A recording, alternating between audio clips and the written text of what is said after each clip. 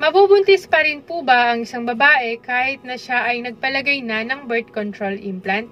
Sa video po natin ngayon ay tatalakayin po natin ang tungkol sa birth control implant. Kung mabubuntis pa rin po ba ang babae kahit na siya ay meron na nito.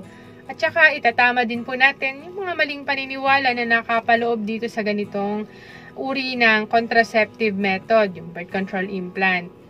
So, dapat talaga eh, tama yung mga information, tama yung mga kaalaman natin pagdating sa ganitong bagay para makatulong po sa atin, ganun din po sa iba. Pwede rin po kasi nating i-share ito sa mga uh, naghahanap po ng mga method para maiwas sa pagbubuntis. So, isa po itong paraan, itong birth control implant. Bagong lahat, ako po muna si Listeners Organist. Uh, sa channel ko po, ang mga topic ko ay tungkol sa sexual health, tungkol sa pagtigil sa sigarilyo, alak, droga, how to manage blood pressure, at iba pa. So, kung makikinabang po kayo sa mga topic ko, uh, iregalo nyo na po sa akin ng pag-like, share, and subscribe po. Malaking tulong po yun sa akin bilang isang small YouTuber. So, una sa lahat, ano nga ba yung birth control implant? So, ang birth control implant ay isang maliit na flexible rod, okay, na inilalagay sa ilalim po ng balat. Dito po, madalas, dito po sa atin pong upper arm. Okay, madalas po dyan nilalagay yung birth control implant. So, nagre-release po ito ng hormone. Ito po yung progestin hormone. So, nakakatulong po ang hormone na to para maiwas ang isang babae na mabuntis. Nagre-release po ito ah, ng progestin hormone steadily. Okay? So, ang trabaho ng hormone po na ito ay para maiwas po na magkaroon po ng ovulation.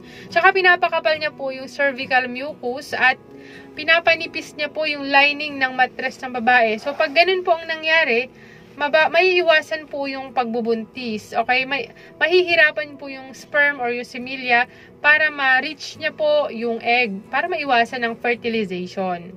Ma'am, gaano ba ka-effective yung birth control implant na yan?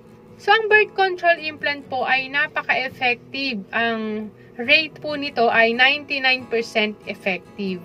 So, hindi po to 100%, 99% po. So, ibig sabihin po, sa isang daang babaeng naka-implant, eh, isa po doon ang posibleng mabuntis sa loob ng isang taon. So, may 1% pa rin po na may possibility na mabuntis.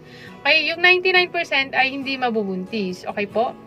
Meron pa rin maliit na chance na magbuntis ang babae. Kaya, kung kayo po ay naka-implant at naka-experience po kayo ng mga symptoms of pregnancy, yung mga senyales ng pregnancy, eh, mahalaga, magpa-check up po kayo agad sa inyong mga doktor para mapayuhan po kayo ng susunod nyong gagawin.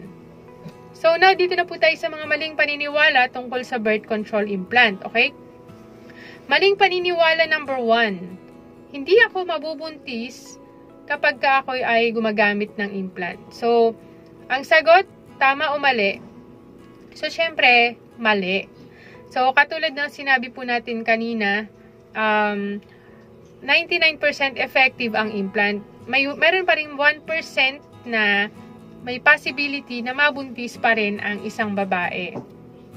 Pero yung posibilidad na mabuntis ang isang babae ay napakababa. So, pero okay din, ma, okay na yung 99%, mataas na rin po yan, no?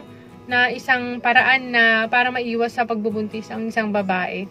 Kahit na mababa yung possibility na mabuntis ang isang babae with the implant, 99% effective pa rin po ito. Tsaka yung pag nagpalagay po kasi ng implant ang babae dito, at tumatagal po siya up to 5 years bago ninyo i-renew or ipatanggal ulit. Maling paniniwala number 2, ang implant daw po ay nakakabaog. So, isa na naman po itong maling paniniwala. Birth control implant ay hindi po nakakabaog.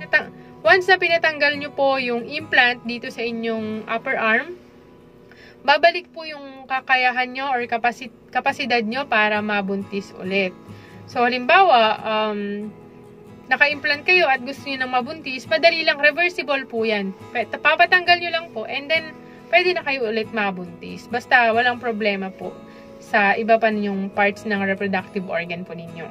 Yan, dapat aware po tayo dun sa mga senyales ng pagbubuntis. Ano-ano po ba yung mga madalas na senyales?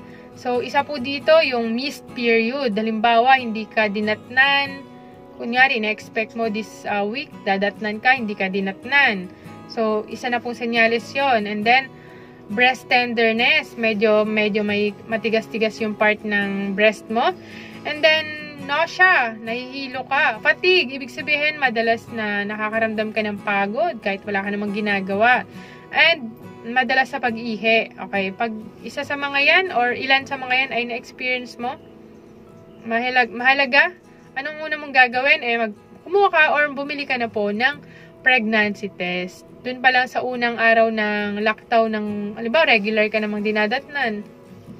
Yung first day pa lang po na ina-expect mo na magkakaroon ka na, eh, pwede ka nang mag-check ng pregnancy test. Pabibili naman po ang PT dyan sa mga drugstore. And mas maganda, mag-PT po kayo uh, pagkagising nyo po sa umaga kasi mas concentrated po yung ihi tuwing umaga paggising. Paano man kung positive yung result, anong gagawin ko? Uh, Siyempre, kapag uh, positive yung result at med- medyo duda kayo, pwede kayong mag-test ulit ng pangalawa. Kung positive pa rin, so magpa-check up na po kayo agad-agad para magkaroon po kayo ng prenatal check-up sa inyong mga doktor. Mahalaga magpa-check up na po kayo agad sa inyong mga doktor kung positive kayo, kung buntis po kayo. Para mag-guide po kayo yung mga proseso na dapat gawin ng isang nagbubuntis para po uh, maging ano po healthy po kayo pati po yung baby in case po na talagang nagkaroon po ng pregnancy. Tsaka syempre papatanggal na po yung implant kapag ka nagkaganyan. So, yan, sana po natuto po kayo sa video po natin ngayon. Nalaman po natin yung kahalagahan po ng birth control implant, kung gaano nga ba ito ka-effective. Tsaka, nasabi ko po na mabubutis pa rin po ang isang naka-implant na may chance pa rin po kahit maliit. At tsaka po, um, nalaman din po natin yung mga maling paniniwala at kung buntis na habang naka-implant, eh, nasabi ko rin po na mas mahalaga na magpakonsulta po agad sa inyong mga doktor. So, ini-invite ko po kayo na panoorin din po ang next video ko po tungkol dito sa painful menstruation. Sana po ay supportahan niyo po ako till the end. Thank you and God bless. Always smile, always pray. Love you all po. Bye-bye.